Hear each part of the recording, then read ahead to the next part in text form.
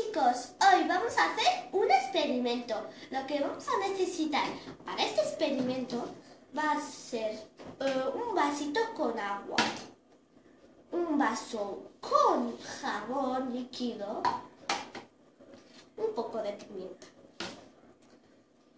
Cogemos el agua, lo echamos, cogemos la pimienta, echamos un poco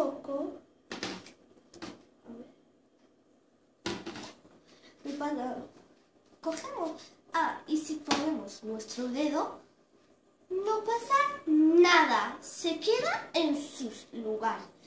Entonces vamos a coger el jabón y si nos lo flotamos en el dedo, ¿qué puede pasar? Vamos a averiguarlo con Lo mojamos muy bien, lo flotamos por aquí. Cuando hemos acercado nuestro dedo a la pimienta, la pimienta se ha separado del jabón. Adiós, espero que os haya gustado.